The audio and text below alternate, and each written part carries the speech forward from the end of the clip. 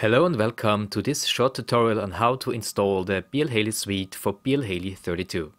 If you're looking for a BLHeli Suite 32 Chrome app or extension, you will be unsuccessful.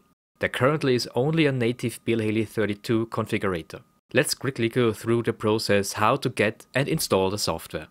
We start by downloading the latest version of BLHeli Suite from blheli32.com download.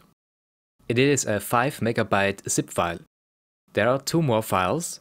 We usually do not need the beta version and BLHeli Suite 16 is also the wrong version for BLHeli 32.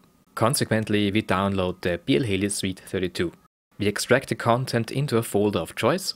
Afterwards, we start the exe file BLHeliSuite.exe from the extracted directory. We can also create a link to the exe file and put it, for example, on a desktop and or pin the application to the taskbar. That's it for the installation. I'll also show you how the ESCs are connected real quick. Open the BLHeli suite and connect the flight controller via the USB cable. In opposite to the flight controller, the ESCs require the battery to be connected. The COM port is the same as for the flight controller configuration. Before connecting, select the option M for Cleanflight Beta Flight in the menu item Select BLHeli 32 interface. That's because our signal is passed through the flight controller. You need at least version 3.2 of Betaflight for this to work.